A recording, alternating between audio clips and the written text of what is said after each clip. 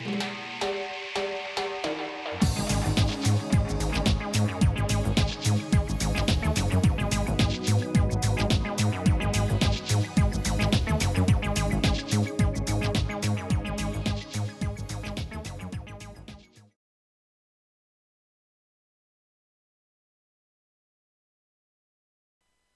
everybody. I thought a lot about what to do at this conference given um, all the topics that you'll hear. And what I thought I would do is um, try to take you back in time um, and give you a sneak peek of um, what happens inside Apple, what happened inside Apple, um, and how these innovation cycles work. Because um, as we all know, we usually are on the outside uh, trying to figure out, for example, when will the Apple Watch be launched and what it will do.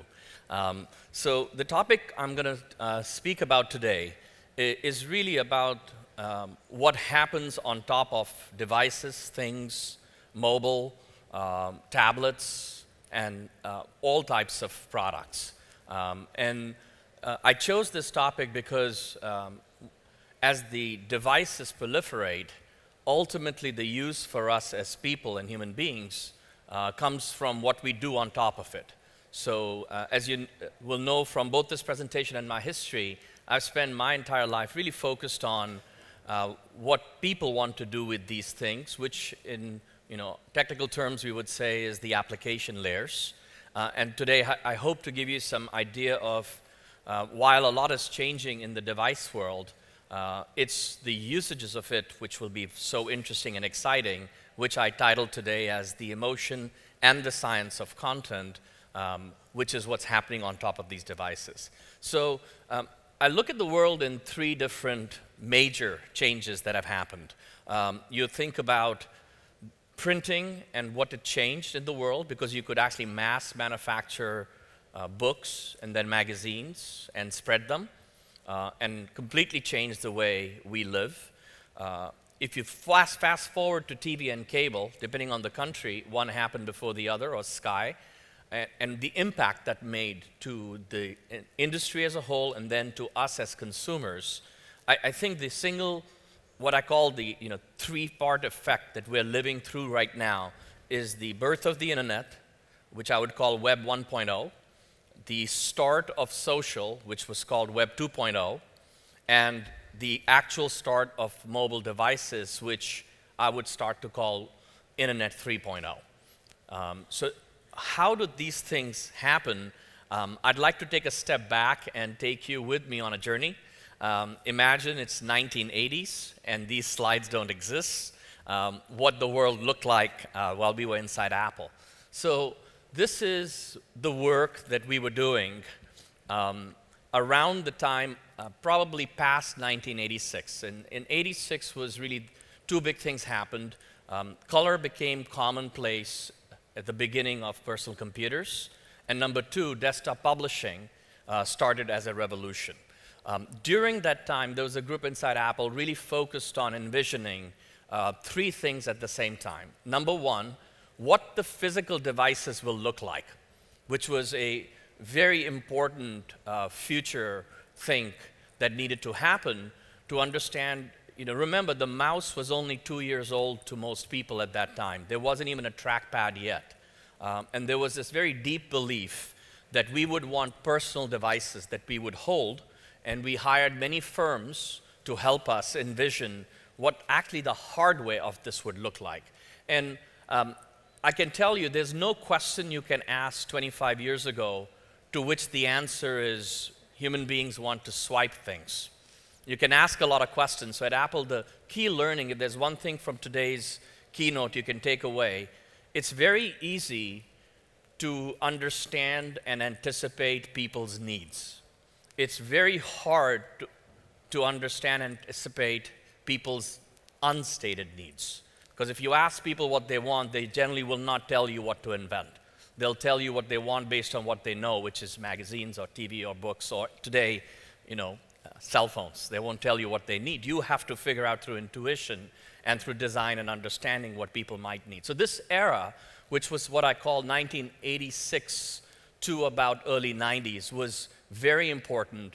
Uh, we created a video called Knowledge Navigator. Many of you have seen it. If you haven't, go look at it at YouTube. It's an incredible example of the roots of where we are today and what changed. Um, but something happened around the end of this era that changed both Apple and our worlds forever, and that's in the next slide. Uh, given this is a founders conference, what I wanted to really bring up was how are founder innovation cycles fundamentally different than non-founder or corporate? And this is a slide that I created. It's not from the web. I'm going to walk you through it to tell you how big decisions are made by founders and what that leads to. So on the left, you see at the bottom is the Knowledge Navigator. It's a prototype, never existed, was really created for a video, okay? Um, next to it is Apple's first tablet. It was called PenMac. It's 1989. It was a device that was built by the hardware team using the most current Mac OS. Uh, Paul Mercer, who's on the picture next to it, um, was, had just come back from Japan, was very influenced by Casio and many devices. On that device, he actually created a micro operating system, the first mobile operating system really in the existence of the world. And my team with me started to build navigation applications uh, on top of it. So just imagine in 1989 trying to build applications when no apps existed, no mobile apps existed, and create a framework for developers to create apps on a device that Apple was building. Um, simultaneously, Steve was working on a device on top, um, Sakoman, called, which became Newton. So, and that started a world of PDAs, as you know. And John had to make a decision between John Sculley after Steve left, between Newton or PenMac. Normally, if I was CEO, I would have made the decision of these are two separate product lines and leave them.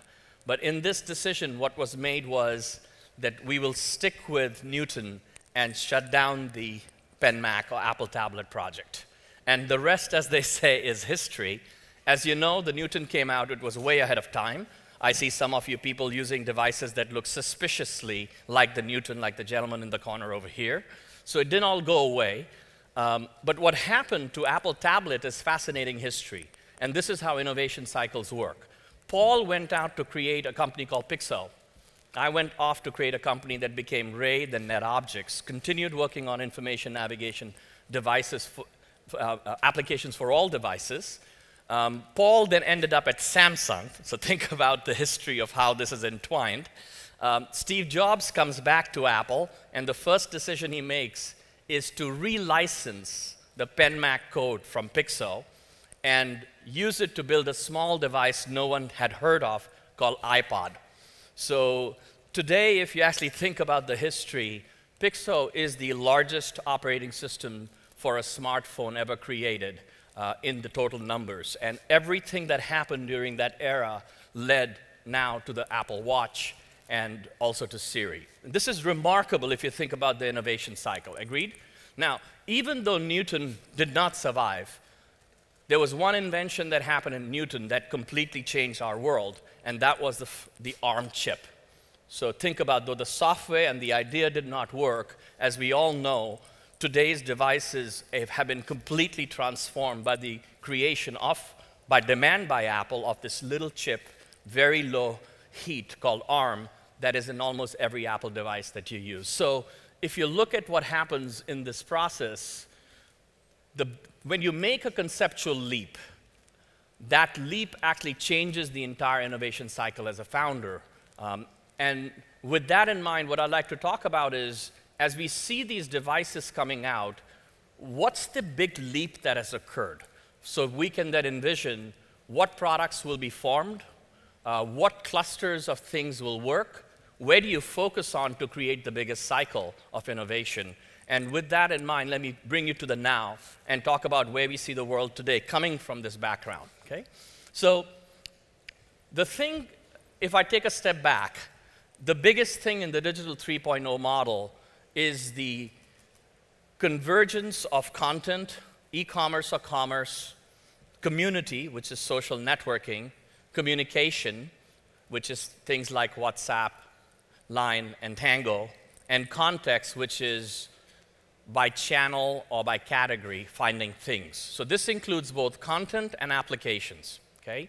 Now, one of the things we learned at Apple in the 10 years I was there was we never confuse convergence with both things become one. So what that means is, as a, as a simple example, when Tango adds content to its communication app, it still leaves its heart and center in communication. Make sense? Because if it doesn't keep its core purpose, messaging, all the other things will not work. Take Facebook, for example, it actually stripped out communication from its core product, right? That's a very big decision to make. So you have two different products now one Facebook for feed and one for communication. Now, Facebook made a very big leap about four months ago.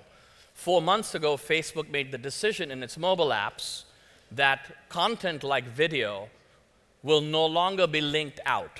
So, in these circles, uh, community or social networking was a form of discovery for content elsewhere. Everyone agrees? For Twitter, Pinterest, Facebook, we go to these apps to discover content, and we want to read all of it, we go to the site or the app, wherever the content came from. Facebook, about four months ago, turned on autoplay in video. Uh, this simple move, which doesn't look very big in mobile devices, completely transformed the playing field in the US in four months in the following way. Till summer, YouTube was number one, and there was no number two.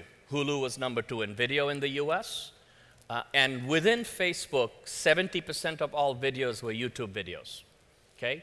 By December, YouTube had fallen inside uh, Facebook to less than 10% of videos, and Facebook video had become 60%.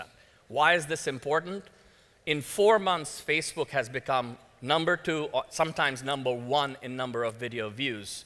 The reason that's important is the people who control the top of the stack, which means closest to the consumer, usually control the most. So let me repeat that. The people that control the top of the stack in applications closest to the consumer will control the most, and as a result, will take most of the profits. Right? So this is all about figuring out where on the stack you want to be. So if you look at very small things, very, very small, maybe very, very, very small things, uh, versus things, um, and you know the classification here, to phones and tablets, to bigger devices uh, like TV, all of these will have application builders, content creators, and platforms.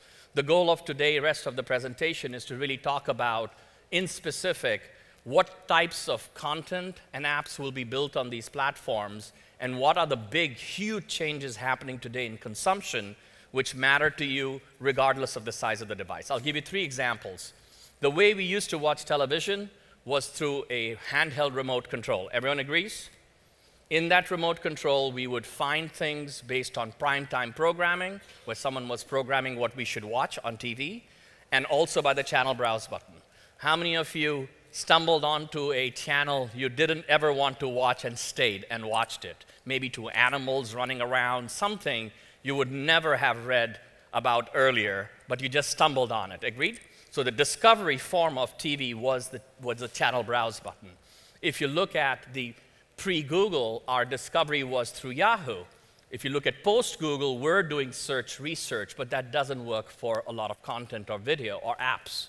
How do you find apps today? Usually through someone who tells you about them because the fragmentation of apps is as big, if not bigger, than the fragmentation of content. So with that in mind, let's talk about things you can walk away with. Each of this is a major trend and change that will affect all applications and usage in all devices of all sizes. First, from 10 years ago to today, the change in time of a user today, over 50% is in a social feed. What that means is if you're building a mobile app or a device app or a thing app or a phone app or a TV app, your primary user interface has to be a social feed. If it's not in a feed, a consumer will not use it. Now, that's not easy to do, it's not easy to build. Most people don't have the layers to create a feed based system. But if you're not a feed based system, you simply will not get used over time. Very simple. Okay? Now, this is different than utility apps like Uber, where they don't have to be feed based, they would be location based. So, if it's not feed based, it would be location based, but in a lot of cases, location will give you only a certain set of apps, all the other apps will be feed based. Um, the second is social is the new distribution. If you don't understand that you have to have even the download of your app and the actual content, if you're producing content, has to be ultimately spread through social, you have not designed your, your philosophy of how you launch things. This is very, very difficult because usually very late in your product launch cycle, you start thinking about spreading by social. You really have to start thinking about spreading by social when you're designing the product today. Very big change. Okay? Feed and streams are the new consumption. This happened, as I said, less than four months ago. I would call this the single largest change in human usage in, the, in this decade that I have seen, which is no one believed that in a social feed you would start consuming content. It becomes a place to go to as opposed to a place to go from. What this means is, unlike a Google search model, which dominates most computing today, where the model is all about the speed of searching, leaving, and coming back, agreed? It's optimized to come back, so we become search researchers, right? It's not something human beings used to do before Google. That model is fundamentally under attack by Facebook today by saying you don't have to do search research. We will give you a feed based on in initially who you follow. Now, what Facebook is doing is they're programming our feed. So you say, wait a minute, how can they program my feed? I'm only still saying, seeing things from people I follow. That's no longer true. The Facebook feed is no longer chronological by time. They are pushing stories that they believe either you should watch or pushing stories that they believe they want you to watch. Make sense? So if you suddenly start seeing there's three or four video stories in your feed in the first two pages, it's not because they're the most recent. That's because that's what Facebook believes, which is now moving into a consumption programming world. Fundamental change, that means the way applications and content was discovered will no longer be the same again. You have to live in this world, okay? The next one is there's a big myth which says great content always wins. Uh, we all come from this world of traditional media, which is a hits business.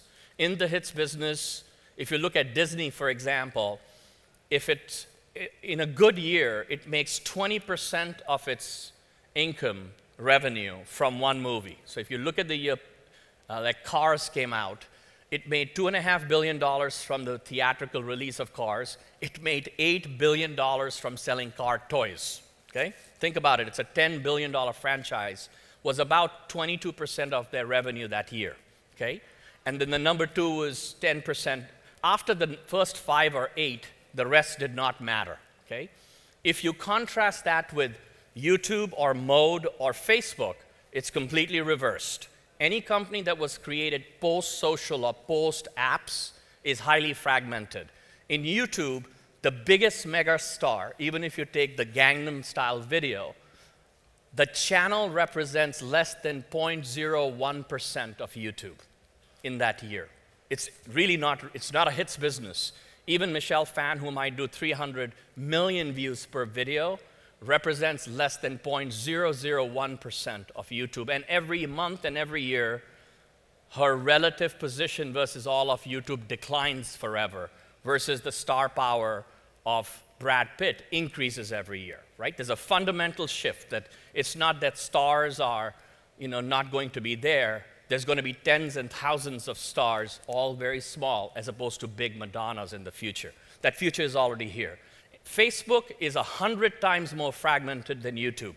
The biggest fan page on Facebook represents a very small part, which gives them tremendous market power. In Mode, our biggest content creator, we deal with about 10,000 content creators. Uh, we're about twice as large as YouTube, but still very small compared to a you know, magazine company or a TV company. There are no hits. There's no hits because there's no distribution control, there's no magazines, there's not limited channels. Whenever you do that, hits will go away. So it's a fundamental new business. Um, I think I'll just skip that. The next thing is we believe you need cats to go viral. Everyone agrees?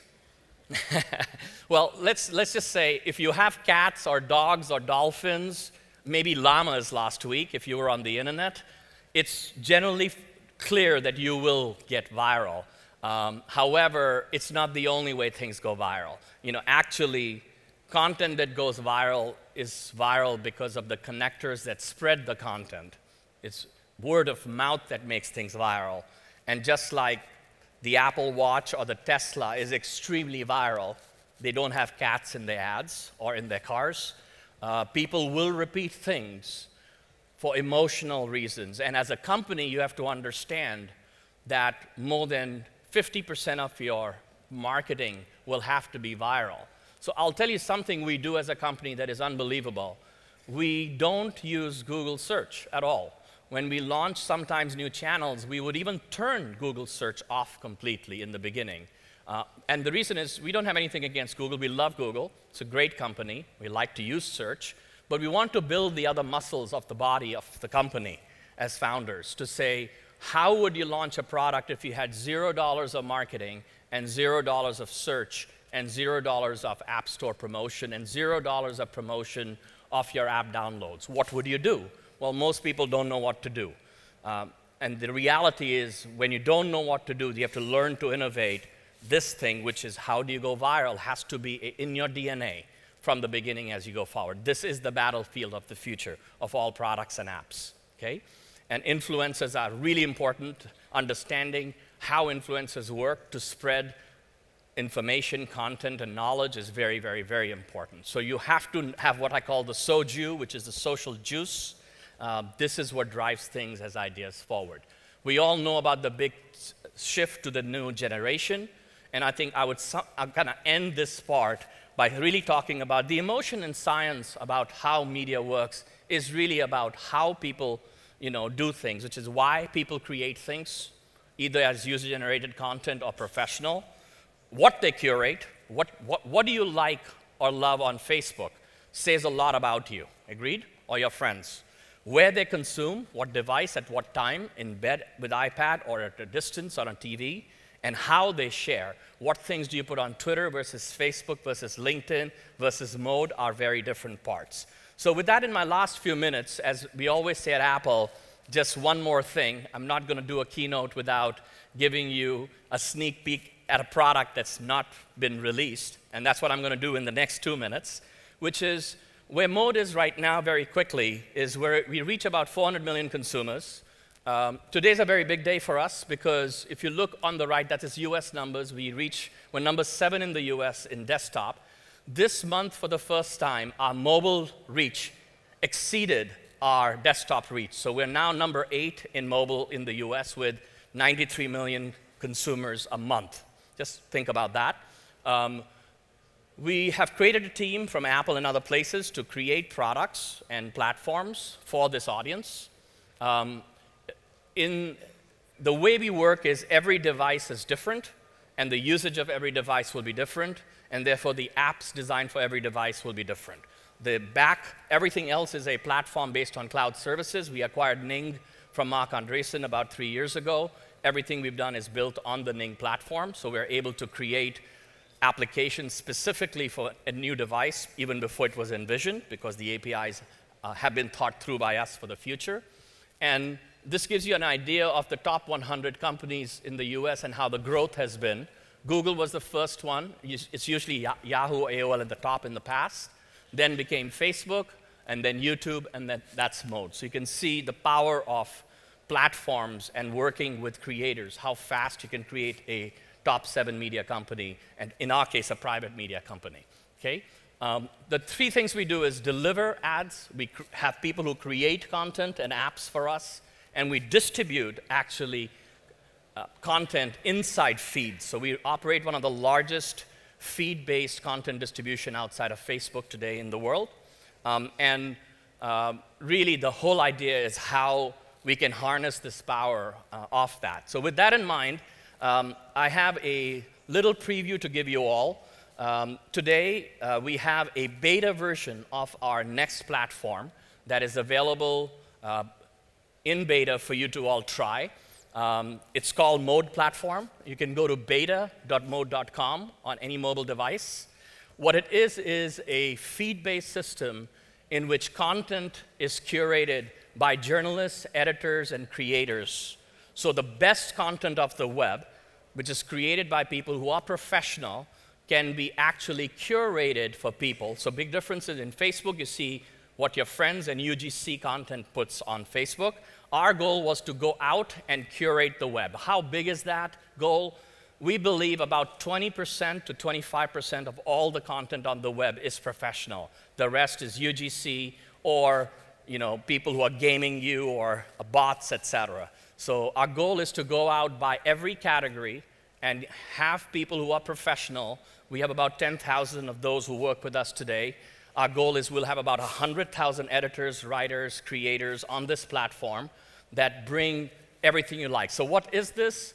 Each of this is a story, almost like Beats did for music, which was a playlist created by professionals. We've created a platform that allows you to create a story of all the things you love on the web uh, based on simple one click. So, you know, Pinterest on steroids, but formatted. And also, what we're building, of course, is a native app uh, that will be coming soon, uh, given Apple's process of approval.